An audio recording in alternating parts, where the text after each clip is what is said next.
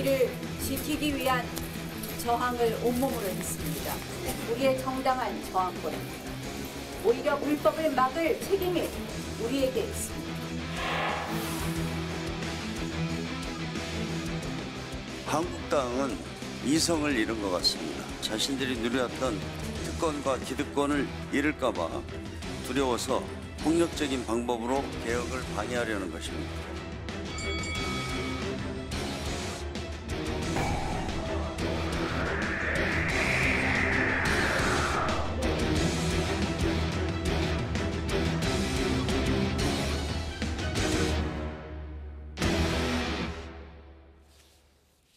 전투는 잠시 소강 상태고요. 잠시 후면 다시 국지전이 벌어질 태세입니다. 어, 한 시간쯤 후부터 열리는 바른미래당 의총에서 김관영 원내대표가 불신임되는지도 관건 지켜봐야겠습니다. 박상병, 박시영 두 분 정치평론가 모셨습니다. 어서 오십시오. 새벽 한 3시, 4시까지 전투가 이어졌고요. 일단 세계 법안이 어떤 상태인지 살펴보겠습니다. 네. 법안이 접수가 돼야 이게 뭐 특위에서 네, 패스트 트랙에 지정할지 안 할지가 선거법은 24일 날 됐습니다. 제출됐습니다. 네. 제출됐죠. 네. 네. 자 그럼 이제 선거법은 됐습니다. 네. 네. 의안 번호까지 나왔다고 하니까 네, 법안이 제출됐습니다. 그리고 이건 언제든 이제 의원 정족수만 맞으면 특위에서 상정해서 바로 상정해서 어, 바로 패스트 트랙에 올릴 수. 있는 거죠. 예. 네, 이제 선거법은 알겠습니다. 그 다음에 공수처법. 뭔- 어제 네, 어제 팩스로, 팩스로 접수가 됐죠. 지금 자유한국당 의원들이 의안과를 맡고 있으니까 팩스로 들어갔는데 네. 접수가 된 거라고 볼 수 있습니까? 접수가 된 것으로 보여지는데 네. 지금 원래는 이제 백혜련 의원 명의로 낸 것 같은데 표창원 의원 네. 명의로 올라 있어서 이게 뭐 직원의 실수인지 이런 것을 확인을 해봐야 하는데 음. 지금 사무처 직원들이 사실상 감금되어 있기 때문에 네. 확인이 불가능한 상태입니다. 네. 이게 누구 잃어버리냐도 물론 중요합니다만 일단 접수는 된 것이기 때문에 지금 상황에서 공수처 설치법과 관련돼 있는 어, 이 법안은 접수 사실상 된 거죠. 네. 그리고 사실 이메일로도 접수가 가능한데 이메일로도 다 보냈기 때문에 아, 이거 이미 네. 너무 너무 갔기 때문에 거기서 이제 도장만 찍어서 결과만 공개하면 되는 건데 그 부분만 이제 남아 있는 거거든요. 그러니까 접수는 완료가 된 겁니다. 네, 이메일로 보낸 것도 여기 보낸 사람은 있는데 당연히 확인이 지금 안 되는 확인이 왜냐하면 그 의안과 직원들이 지금 전부 나오지도 못하고 이렇게 지금 음, 자영업자 확인을 의원들이 해도 점거하고 있기 때문에 확인을 해도 네. 확인, 확인돼 가지고 그 당 공보에다가 접수가 된 사실을 공지를 해야 돼요. 네. 뭐 확인만 해가지고는 안 됩니다. 그러니까 들어가가지고 그러면 간단한데 네. 일단 컴퓨터에 진입을 못 하니까 그걸 확인도 못하고 다시 네. 의원가 올리지를 못하는 아니 상황이죠. 그래서 저는 농성은 뭐 이해는 되는 측면도 있지 않습니까? 반대하면 뭐 규탄 투쟁할 수 있죠. 다만 정말 국회 사무처 직원들을 감금하는 건 안 되잖아요. 일은 할 수 있게끔 네. 만들어줘야 하는 거 아닙니까? 자 이거 보실래요? 자 그리고 세 번째 검경 수사권 관련된 법안인데 그 중에 형사소송법 법안이 팩스로 이렇게 들어왔는데 네. 네 왼쪽에 자영 바른미래당 저 자유한국당의 이은재 의원인데 네 팩스를 이렇게 저 법안을 가져가 버리는 장면입니다. 네. 저 지금 찢은 거죠. 어 찢었다는 보도도 있는데 확인이 되지 않아서 어, 지금- 네. 뺏고 있습니까? 찢- 네. 네, 네. 네. 자 이래서 지금 세 번째 검경 수사권 법안 원래 검경 수사권 법안은 두 가지인데 네, 하나는 검찰청법이 있고 그거는 이미 접수가 됐습니까? 네, 작년 11월에 발의가 됐습니다. 발의가 이미 됐군요. 네. 네. 그리고 남은 게 이제 저 형사소법을 우여곡절 끝에 팩스로 집어넣는데 네. 이은재 의원이 가로채 버렸습니다. 네, 네. 네, 방금 저거 적은데 그러니까 임- 원래는 인편으로 접수를 합니다. 가지고 직접 가지고 법안을 그러겠죠. 가져가지고 네. 도장했는데 원래 그런 들어가지를 못하니까 그러니까 팩스를 보냈는데 팩스에 온 문건도 방금 저기 찢는지 뺐는지 하고 네. 저 팩스가 또 아예 망가져, 망가져 버렸어요. 저 고칠되는 팩스도 시간이 그건 그건 이은재 의원이 부셨는지는 확인되지 않고 있습니다. 아무튼 지금 작동이 부서져 버렸습니다. 작동이 네. 안 돼서 두 고장 났습니다. 보낸 것도 네. 안된 거거든요. 저는 정말 얼마나 법을 우습게 하는 겁니까? 오만 방자한 행동입니다. 저는 이은재 의원 같은 경우는 정말 엄벌에 처해야 한다고 봅니다. 국민들이 어떻게 보겠습니까? 국회가 저렇게 법을 내놓고 드러내놓고 거거 저기 저렇게 무시하고 있는데 말이죠. 네. 말씀 나온 김에 이현재 의원뿐만이 아니라 저는 국회 선진화법 이후에 저는 동물국회 참 그 표현 정말 안 좋은 표현이거든요. 안 좋은. 아, 정말 안 좋은 네. 표현인데 저는 저것이 이슬이라고 생각도 정말 못했어요. 이 법이 간단 국회 선진화법이 간단치 않습니다. 지금 우리가 얘기하고 앞으로 하겠습니다만 이 165조, 166조에 나오면은요. 국회 선진화법요? 보, 예, 네. 보통 이 안에 5년 이하의 징역입니다. 그리고 다른 형법보다 더 가중됩니다. 그래서 여야 의원 누구든지 그 이후에는 동물 국회를 없앴더니 식물 국회 됐다는 비판을 많이 한 거거든요. 그게 아니었어요. 동물이 부활한 겁니다. 알겠습니다. 그 표현 사실 저도 오프닝에 써서 네, 근데 저희 제작진끼리도 이런 표현 가급적 자제하자고 했는데 사실은 그런 상황이 된 것 같습니다. 그렇습니다. 네. 네. 저는 이번 사안을 보면서 이런 사안이 터질 때면 의뢰 양비론적 시각이 팽배할 수밖에 없습니다. 자기 측에 가까운 시각으로 보- 바라볼 수밖에 네. 없는데 정말 좀 찬찬히 뜯어봤으면 좋겠어요. 이게 과연 불법적 요소가 있었는지, 그러니까 패스트트랙이 과연 불법인지 불법은 아닙니다. 그다음에 야합이냐 야합도 아닙니다. 밀실에 추진한 거 아니고 여야 사, 사당이 공개적으로 추진했거든요. 그러나 다만 원내대표 권한이긴 합니다만 사보임 과정에서 네. 좀 무리하게 보여진 측면 분명히 있습니다. 하지만 그럼에도 불구하고 위법적인 행위한 것에 대해서는 적어도 적어도 저 문제에 대해서는 용납해서는 안 된다는 겁니다. 알겠습니다. 어, 오늘 오후나 오늘 밤 또는 주말까지 상황 어떻게 전망하십니까? 간단하게 어, 다시 시도할까요? 저 다시 시도하려고 봅니다. 네. 아, 지금 조금 전에 보니까 자유한국당은 머물러 맞고요. 어, 맞, 네. 맞겠죠. 이게 20명 정도를 지금 고발한다 그래요. 아마 3시간 4시 정도에 아마 할 것 같은데. 아, 고발했습니다. 아, 18명을 했습니까? 일 1차로 아, 고발했습니다. 네. 20명입니다. 18명 의원과 보좌진 보좌진 2명. 아, 그래서 네. 3시에 20명이군요. 고발 네. 지금이 아 그렇군요. 네. 자 그러면은 이 고발건과 관련해서는 아마 이 현역 의원들 같은 경우에는 이 제호가 엄중하기 때문에 명백하게 이거는 유죄입니다. 명백하게 165조 위반입니다. 어떤 해석을 하더라도 심지어는 166조 2항에 있는 처벌 규정 그게 뭐냐면은 단체 또는 다중의 위력을 보였잖아요. 그럼 이거는 해석 여지가 없는 것이고 네. 또 하나가 그 밖의 방법으로 그 효용을 그러니까 쉽게 말하면은 전자기록 등의 효용을 해한 사람 같은 경우에는 7년 이하의 징역 또는 2천만 원 이하의 벌금이에요. 국회 선진화법이 말씀하신 것처럼 특히 회의를 방해하거나 뭐 저 감금하거나 점거하면 매우 엄한 처벌에 돼 있는데 네, 그건 잠시 후에 좀 네. 여쭤보도록 하고요. 이런 상황이기 때문에 네. 이런 상황이기 때문에 정말로 저는 자유한국당이 그럼에도 불구하고 저렇게 탄차를 가가지고 하리라고는 정말 생각을 못했어요. 저는 그러니까 어제 민주당 쪽에서는 당일치기 생각했을 겁니다. 그러나 지금 1박 2일로 넘어가는 국면인데 자칫 잘못하면 3박 4일 주말까지 이어질 수도 있는 상황인 네. 것 같습니다. 그래서 오늘도 아마 지금 잠시 쉬어가는 타이밍이지만 바른미래당 의총이 끝나면 저녁 때 다시 한번 격도를 할것 같습니다. 네. 자, 어젯밤 국회 상황부터 오늘 새벽까지 상황을 좀 보겠습니다. 네, 영상 보겠습니다.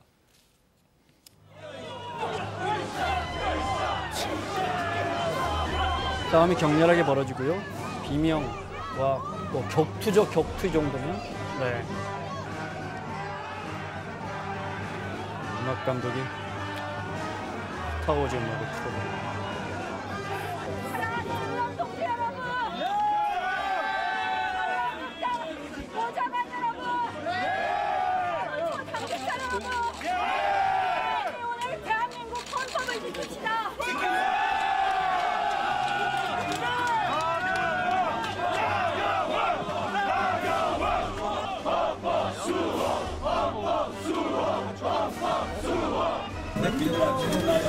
야 이거 안 돼요.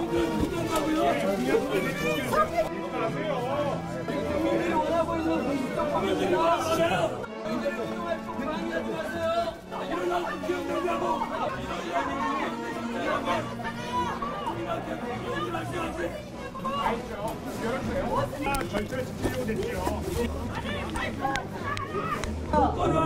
반드시 심판하겠습니다. 네,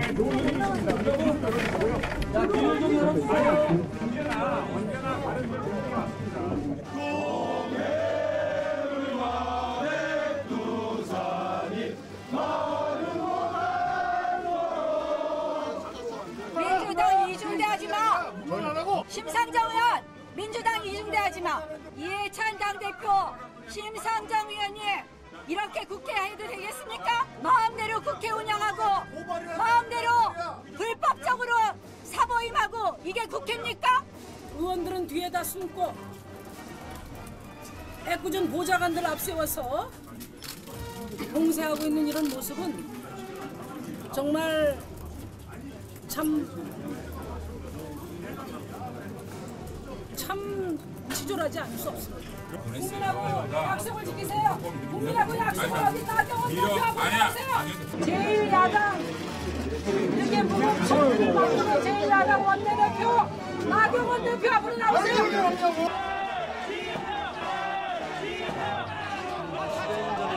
장면입니다. 저 빠루라고 하죠. 저뼈 지렛 때까지 등장해서 네, 부상자가 속출했고요. 자, 이 시간 국회 어, 의안과 영상이 들어와 있습니다. 저희가 중계차를 연결해 놨는데, 자, 이 시각 현재 의안과 앞인데요. 좀 설명을 해 주시겠어요? 네, 아마 자유한국당 의원들이 아직도 여전히 입구를 강하게 봉쇄하고 있는 모습이에요. 네. 의원과에 가면은 직접 이제 인편으로 전달해야 되지 않습니까? 네. 제일 중요한 거는 팩스는 고장이 났으니까 고칠 시간이 필요한 것이고요. 네. 인터넷은 지금 안 되는 거니까 결국 이제 인편으로 가야 되는 가는데 가는 것을 막기 위해서 네. 보좌관들이 아예 문을 막고 있는 겁니다. 낯선 분들도 있는 거 보면 아마 보좌관 분들. 보좌관들이겠죠. 네. 어, 의원과뿐만 아니라 네. 지금 사개특위 열리는 회의장, 뭐 이런데 정개특위 회의장을 다 지금 한국당의 네. 의원들과 보좌진들이 에워싸고 있습니다. 나경원 원내대표의 모습이 보여요. 네, 조경태 아, 의원, 최고위원이죠. 네, 최고위원의 모습도 보이고요. 네. 나경원 의원 옆에 누구 누구 있습니까? 아, 저희가 모르는 분들입니다. 아마 보좌관들. 보좌관들이 네. 네. 의원과만 봉쇄해서 의원 접수만 막으면은 네. 자유한국당 입장에서는 한숨 돌릴 수가 있는 거거든요. 네. 이 법이 처리가 안 되면 나머지 법도 같이 못하는 겁니다. 네, 그렇죠. 아, 그렇죠. 네. 어, 그런 상황이기 때문에 어떤 경우도 오늘까지는 아마 밤을 새서라도 이 의원과 주소를 막겠다라고는 의지로 네. 지금 통화를 하면서 민주당 어, 입장에서는 아마 선거법 먼저 통과시켜 주진 않을 겁니다. 네, 저 선거법 먼저 함께 하려고 하겠죠. 함께 하려고 하겠죠. 민주당 네. 입장에서는 네. 검경 조정, 수사권 조정이라든지 저 특히 공수처 신설 법안만 뒤쳐 저뭐 뒤쳐져 버리면 안 되니까. 그렇죠. 지금 네. 공수 이 지금 형사소송법 안이 개정이 상정이 안 되면 안 돼 버리면은 나머지 검경 수사권과 관련해서 네. 할수 있는 게 없어요. 또 검경 수사권이 안 되면은 선거법도 할 수가 없는 상황이기 때문에 네. 세트를 묶였기 때문에 일단 이것만큼은 형사소송법 개정안만큼은 막겠다라고 하는 네. 의지를 지금 막고 있는 겁니다. 알겠습니다. 자, 저 현장 보존이라는 것은 어제 아마 저걸 이제 민주당이 파손한 거 아니냐라고 자유한국당이 주장하고 있고 민주당에서는 그거는 저 국회 방호과 직원들이 문을 열기 위해서 파손한 거다 이렇게 주장하고 있어서 자 여기까지 보겠습니다. 네. 자 패스트트랙 신속 처리 법안으로 지정하는 과정에서 도대체 대한민국 국회에서 어떤 일들이 벌어지고 있는지 어제부터 음, 좀 국민들에게 뭐 보여서는 안 되는 장면들이 많이 있는데 사진 몇 장 보면서 설명 듣겠습니다. 네, 최이배 의원이죠. 네, 일곱 여섯 시간 동안 감금당하면서 창문을 통해서 자기 의견을 지금 내고 있습니다.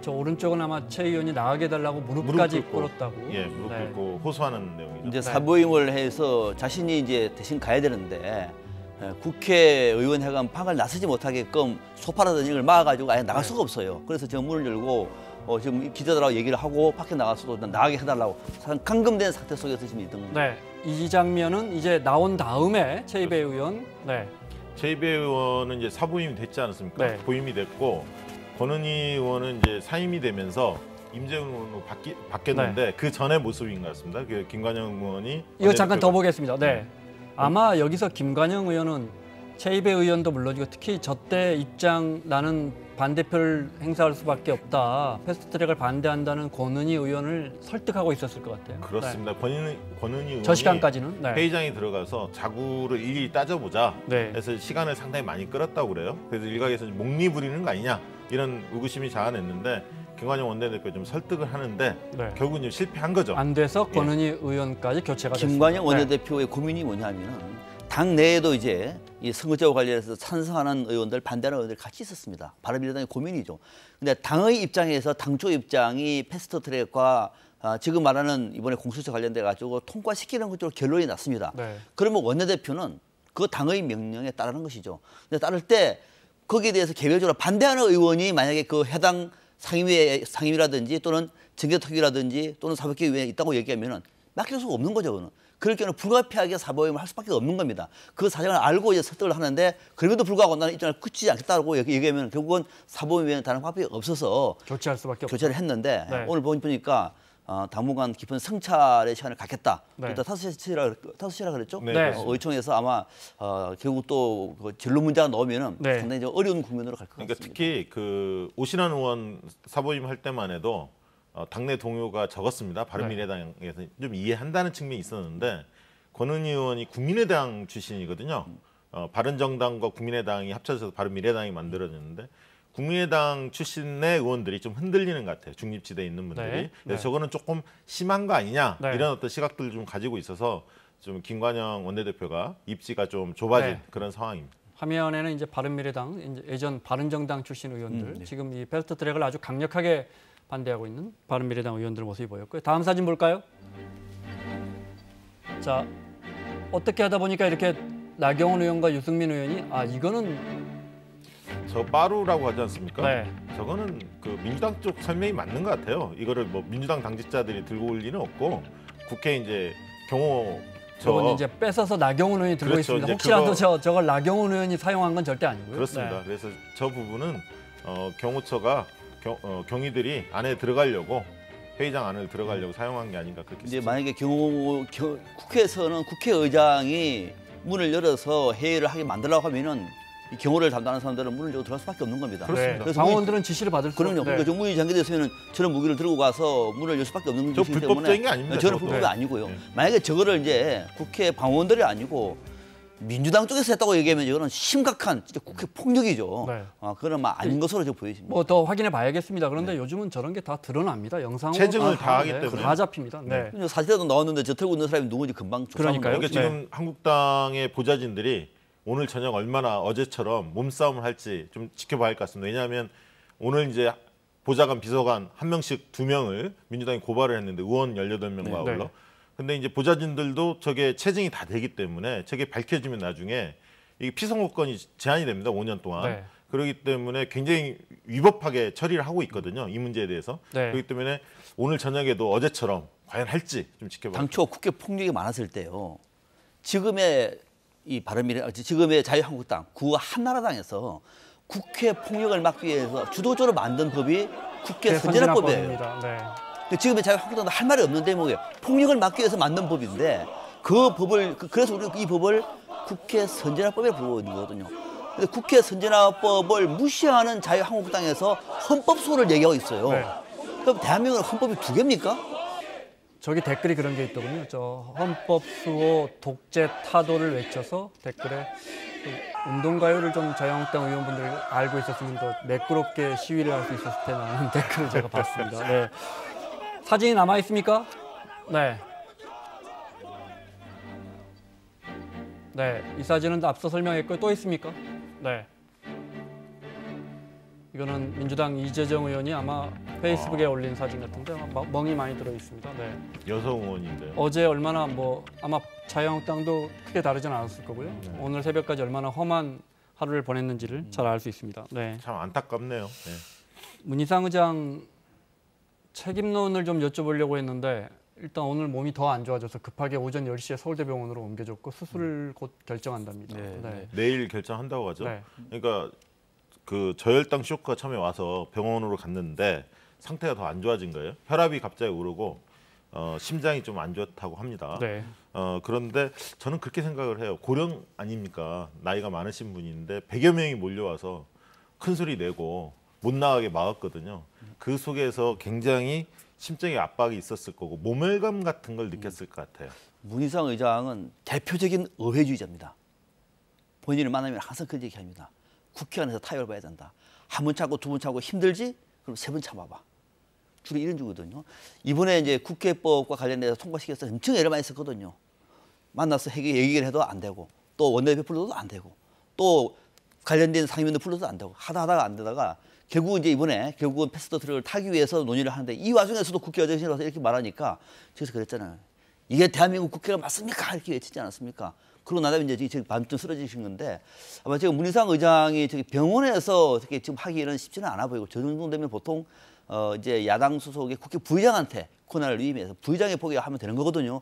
그러면 국회 부의장한테 그걸 공식적으로 얘기를 하고 나서 오늘이라도 국회 부의장 주제로 국회 회를 열면은 국회의장의 그- 그동안의 권한을 대행할 수가 있습니다. 네. 좀 국- 국회의장한테 좀 쉬게 하는 것도 좋은 방법일 것 같습니다. 국회의장 스스로가 이번 사안을 좀 마무리 짓고 수술하겠다 이런 입장이 강하신 것 같아요. 네. 그래서 내일까지 좀 지켜보시려고 마무리 하는 것 같습니다. 하다가 더 병나면 어떡합니까? 알겠습니다. 상황을 보겠고요. 어, 말씀하신 국회 선진화법 네. 이해찬 대표마저 오늘 아침에 그런 이야기를 하더군요. 나도 이렇게 이 처벌이 조항이 센지 몰랐다. 네, 지금 이제 어제부터 이게 화두입니다. 그래서 지금 이미 어, 민주당은 벌써 말씀하신 것처럼 의원 18명 등 자유한국당 20명을 고발했고요. 네. 어, 선진화법 혹시 설명이 돼 있는 아, 예, 저 있나요? 네, 있군요. 음, 이 법이 네, 처벌 조항을 좀 보여 주십시오. 징역 5년 이하, 천만 원 이하 벌금을 부과할 수가 있습니다. 그 밑에 보면 상해나 네. 단체 또는 다중의 위력을 보이거나 위험한 물건을 휴대해서 사람을 폭행 또는 제물을 손괴할 경우에는 7년 이하의 징역에 2천만 원 이하의 벌금입니다. 상당히 무거운 네. 문제입니다. 그런데 이제 이런 주장도 있더라고요. 예를 들어 어제 최이배 의원실을 자유한국당 의원 한 10여 명이 그야말로 강금했는데 네. 그거는 회의할 때 강금해야 저 법이 적용된다. 최이배 의원은 아직 회의를 안 하고 있었고 그러면 회의를 하는 것은 언제부터 회의냐? 법안이 발의 발의가 돼야 발의 되는 되는데 일. 발의, 법안 발의가 아직 안 됐잖아요. 그러니까 그러니까는 그저 네. 법은 적용되지 않는다라는 또 주장도 야권의 있습니다. 주장도 네, 있습니다. 그러니까 네. 의안이 접수된 법안에 대해서 네. 사개특위나 정개특위 회의장을 가는 과정에 막았었으면 그거는 분명히 그 위법 조치가 됩니다. 네. 그런데 그 전에 일어난 것에 대해서는 좀 논란이 좀 있는 것 같습니다. 예를 들어 지금 이 상황도 몸싸움이나 뭐 폭행 뭐 이런 여러 가지가 적용될 수 있는데 경우에 따라서는 저게 마, 저게 저건 걸린다고 봅니다. 왜냐하면 사개특위나 정개특위로 들어가는 과정이거든요. 네. 시간대를 보면 그렇기 때문에 저렇게 만약에 그 전에 일어났으면 논란의 수준이 있겠지만 그게 회의장 들어가는 걸 앞에서 막았다면 네. 분명하게 국회 선진화법 입은 위법 의원은 권성동 의원인가요? 저 표창원 의원과 네 의원 한 명이 쓰러져 있고요. 네, 그러니까 165조를 보면은 네, 누구든지 국회의 회의를 방해할 목적으로 회의장이나 그 부근에서 폭력 행위 등을 해서는 아니 된다. 딱 정해져 있습니다. 누구든지 안 되는 겁니다. 근데 지금 저거는 보면은 국회 회의를 말 그대로 방해할 목적인 것이고요. 회의장도 아니고 회의장 바로 앞입니다. 아, 그리고 폭력 행위 등을 해서 안 된다. 저거 폭력 나오고 있잖아요. 그러니까 명백하게 이런 165조 위반입니다. 저는 이 대목에 대해서 민주당에서 또 무슨 합의해가지고 이것을, 이것을 그 고소를 취한다든지 이렇게 가버리면은요. 국회 선진화법을 민주당도 무력화시키는 겁니다. 명확한 것은 명확하게 해서 법적인 처벌을 받는 것인데 마침 이해찬 대표나 홍영표 대표가 아, 어떤 게 단 한 건도 용서하지 않겠다고 얘기를 했으니까 이, 그, 이대로 가서 앞으로 국회에서는 국회 선진화법이 역시 무력화가 되지 않았다. 네. 그래도 지켜냈다라고 하는 평가를 받기를 바랍니다. 영상 채증을 많이 했더라고요 민주당 쪽에서 그게 어, 아마 이제 정의당에서도 많이 했습니다. 두고두고 오늘 이제 1차로 고발했다는 것이고 네, 앞으로 두고두고 내관이 될 것 같아요. 왜냐하면 네. 저게 벌금 500만 원 이상 받으면요. 네. 피선거권이 5년 동안 제한됩니다. 다음 다음 총선에 총선 못 못 나올. 수도 있습니다. 그리고 이게 윤리특위에 뭐 발의 없이 바로 그 국회의장이 본회의에 이 상정할 수 있는 네. 사안입니다. 네. 알겠습니다. 자, 어, 다시 바른미래당 이야기를 하겠습니다. 한 40분 후면 이제 의총이 열리는데, 네. 그 전에 김관영 원내대표가 어, 이런 문자 메시지를 의원들에게 보냈습니다. 사보임 조치 과정에서 오신환 고눈이 어, 두 분의 마음에 상처를 드려서 진심으로 죄송한 마음이다. 잠시 성찰과 숙고의 시간을 갖겠다. 이런 유감 표명을 어, 했고요. 네. 불신임이 물리적으로는 어려울 것 같습니다. 지금 들어온 소식을 보면 김관영 원내 등 이른바 찬성파는 의총에 참석하지 않을 것 같다고 하고요. 이렇게 되면 아마 이제 반대파 유승민 의원이라든지 오신환 의원이라든지 하태경 의원 측에서 불신임 촉구 성명 정도가 될 것 같아요. 어떻게 보십니까? 아직도 지켜봐야겠습니다. 네. 네, 지금 관전 포인트는 네. 양측이 팽팽하게 맞서고 있는데 김관영 원내대표가 사실은 호랑이 등에 올라타는 격이거든요. 중간에 내리면 물려 죽습니다. 내릴 수 없고요. 어쨌든 불가 사과는 하지만 이해를 촉구하고 당부하되 본인은 갈 길을 갈 겁니다. 그런데 지금 관전 포인트는 뭐냐면 김수민 최고위원이 있습니다. 네. 원내 대변인인데 원내 대, 청년 청년 청년, 청년 최고위원이죠? 최고위원이죠. 네. 그렇습니다. 근데 원내 대변인을 사퇴했습니다. 그래서 과연 어, 김수민 최고가 최고위원 자리를 사퇴할 거냐 이게 지금 그 관심 포인트로 모아져 있습니다. 왜 그렇죠? 왜냐하면 네. 사퇴를 하게 되면 지도부가 붕괴됩니다. 네. 지도부가 총 아홉 명인데 어, 지명직 두 명 빼고 지금 일곱 명으로 구성되어 있는데 어, 바른정당계 세 명이 보이콧을 하고 있습니다. 나머지 분들이 네 명 있는데 그 네. 중에서 만약에 어, 김수민 최고가 사퇴를 하게 되면 지도부가 과반이 붕괴되게 아, 되기 그렇군요. 때문에 현실적으로 어, 손학규 어, 사퇴론 이런 네. 것들이 다시 어, 제기될 수 있는 상황입니다. 네, 김관영 원내대표의 그동안의 행보를 좀 자세히 봤는데요. 아, 정말 앞서 그 화면에 보니까 극한 직업이라고 하는 것 같은데요. 정말 극한 직업 같아요. 원내대표가 다 어렵습니다만 바른미래당 원내대표가 가장 극한 직업인 것 같아요. 아, 여당에 힘을 실어주면 민주당이 이중다라고 그러고 야당에 힘을 또 자유한국당이 이중다라고 그러고 그 와중 속에서 제3정당의 존재 가치를 드러내기 위해서 고군분투하고 있는 거거든요. 결국은 마지막에 이제 당의 의견을 모아가지고 결론에 다다른다고 하더라도 막판에 이렇게 또 바른미래당 안에서 또 양쪽으로도 또 나뉘지 않습니까? 이런 상황에서 네. 동료 의원을 강제적으로 사법시킬 수밖에 없는 원내대표 그 자리를 놓고 김관영 원내대표는 타협하지 않았습니다. 원칙대로 가는 것이기 때문에 네. 아, 지금 숙고의 시간과 성찰의 시간을 갖는다고 합니다만 네. 그동안에 보여준 김관영 원내대표의 행보는 굉장히 저는 높게 평가합니다. 자, 이건 어떻습니까? 어쨌든 지금 신속처리 법안으로 해- 저 쟁점 법안 세 개를 올리느냐 안 올리느냐가 중요한데 김관영 원내대표 많이 흔들리고요. 어, 김관영 원내대표는 흔들리, 흔들리 지 않는 것 같습니다. 제가. 흔들어도 물러나서는 안 된다 이 네, 말이죠. 지금 이미 물러날 수가 없고요. 호랑이 등에 올라탔기 때문에 그렇습니다. 네. 그리고 오늘 사과문 저렇게 낸 것은 네. 어, 김관영 원내대표 잘한 겁니다. 왜냐하면 중립지대가 약간 흔들리기 때문에 반발을 누그러뜨리기 위한 어떤 사전적 조치거든요. 이런 건 어떻게 보십니까? 정개특위에 김성식 의원 있고 김동철 의원 있는데 김동철 의원 지금 지방에 있더라고요. 이 시국에 네 지금 바른미래당의 동력이 바른미래당 없이는 절대 못합니다. 이거. 그렇습니다. 바른미래당의 동력이 점점 꺼져가는 거 아닌가? 그래서 이제 오늘이 안 될 수도 있다. 네. 주말까지 이게 지속될 수도 있다. 이렇게 좀 전망이 나오고 있는 거죠. 그 뒤에는요. 그럼에도 만약에 불구하고 주말- 올릴 수 있다고 보십니까? 아니 만약에 주말을 넘어서면 네. 현실적으로 불가능하다고 그렇죠. 봐야죠. 오늘이 티데이 마지막 티데이고요. 네. 오늘 정 만약에 의견이 모아지면 내일도 할 수 있습니다. 그런데 오늘 내일 오전까지 끝나버리면 다음 주에 가서는요 동력이 네. 소진돼 버립니다. 못합니다. 내일 할 수 있을지도 모르겠습니다. 왜냐하면 저 일단 법안 제출을 해야 되는데 의안과 직원들이 출근을 안 하면 또 팩스도 고장 나 있고 뭐 여러 가지로 쉽지 않아 보입니다. 자, 아, 시간이 없어서 이걸 여쭤봐야겠는데 저희가 뭐 재미삼아 패스트트랙 대치로 가장 존재감이 드러난 의원, 네, 좀 가볍게 생각해 주시면 좋을 것 같습니다. 네, 저는 앞서 말씀드린 것처럼 네. 김관영 바른미래당 원내대표 정말 존재감 드러냈고 원칙을 위해서 타협하지 않고 당과의 약속을 지켰다. 또 여야 사당의 약속을 지키면서 끝까지 고군분투했다. 비록 동료 의원 두 명에게는 미안하고 또 당의 혼란 때문에 궁지에 몰려 있는 그 몰려 있긴 하지만은 어, 김관영 원내대표 행보는 큰 정치의 길을 보여줬다. 이렇게 높이 평가합니다. 저는 오신환과 김관영 두 명을 꼽고 싶은데요. 오신환은 이름 석자를 알렸다. 네. 이렇게 보여지고요. 김관영 원내대표 같은 경우는 그동안에 합리주의자 이런 이미지는 있었지만 추진력에 대해서는 의문표가 있었거든요. 그런데 그런 강단 있는 모습을 보여주면서 호남의 차세대 리더 그한 축을 담당할 가능성 네. 보여줬습니다. 뭐 긍정적으로 평가해 주셨으니까 뭐 그렇다 치고 근데 이제 정치는 생물이라고 뭐 항상 마지막에 합의할 때는 이 말만 나오면 합리화가 되던데 그런데 너무 우리 정치가 복원력을 잃고 뭐 이러다 합의해도 국민들이 너무 어리둥절할 것 같습니다. 네, 너무 너무 국민들에게 해서는 안 되는 말, 보여서는 안 되는 모습을 많이 보여주는 건 아닌지 그 말씀 듣고 마무리할까요? 네. 네, 우리 국회가 국회 선제법을 만든 이후에 이제는 폭력 사태가 없으리라고 봤습니다만 국민들도 아마 깜짝 놀랐을 겁니다. 아니구나. 그러니까 국민들과의 눈높이는 전혀 다른 방식으로 정치가 행해져 왔던 것이고 그 정치가 지금 지속되고 있는 것이고 또 이 정치 구도가 내년 총선에 또 반복될 수가 있는 겁니다. 저 이 사건과 관련해서 어느 한 편이 아니라 정말 국민의 눈에 서서 누가 옳고 누가 거짓말을 하고 있는 것인지 무엇이 원칙인지 국민들이 알고 여론을 만들어서 이번만큼은 좀 개혁이 미래가 비전이 좀 성공하기를 바랍니다.